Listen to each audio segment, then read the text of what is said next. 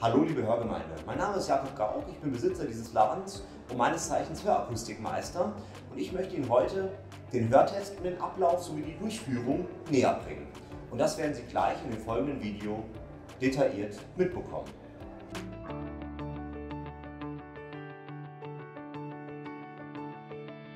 Irgendwie ist es schon so ein bisschen mit einem Schamgefühl verbunden, Hörgeräte jetzt verpasst zu bekommen.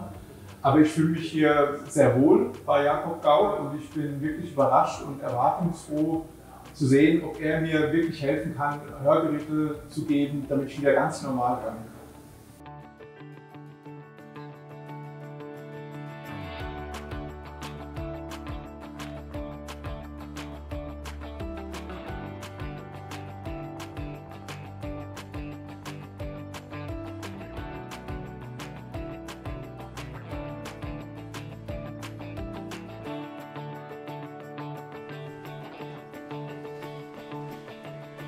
So, schau mal, dann fangen wir auf der rechten Seite an zu messen. Sie hören jetzt erstmal einen hellen Piepston.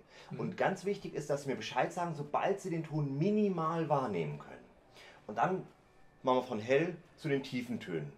Und jetzt beginnen wir. Ja? Ja. Ja.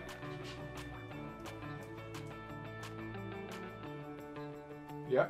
Und hier auf der linken Seite sehen wir praktisch ein ähnliches Ergebnis, also einen leicht bis mittelgradigen Hochton-Hörverlust.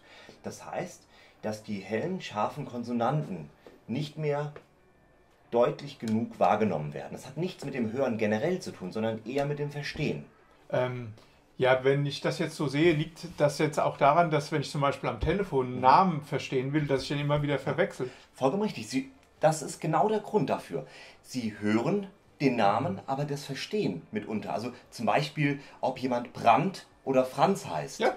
Und das sind hier die hellen, scharfen das K, das F, das S und alles oberhalb von der Kurve ist dementsprechend nicht mehr oder nur noch leicht ähm, wahrnehmbar. Ja, da, da wird mir einiges klar. Ja, genau. Und das ist oftmals so ein Missverständnis, dass man denkt, es hat was mit dem Hören zu tun, aber ganz im Gegenteil. Sie hören alles, nur das Verstehen ist Ja. mitunter etwas in Mitleidenschaft gezogen.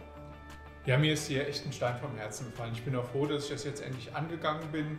Und äh, mir ist jetzt auch einfach klar geworden, warum ich zwar was höre, aber nicht verstehe. Und ähm, das hat er super gut gemacht, äh, der Herr Gau. Der Hörtest ist gemacht, alle näheren Sachen erklärt und erläutert und jetzt geht es praktisch zu meinem Kerngeschäft, der Beratung. Und das sehen Sie im nächsten Video.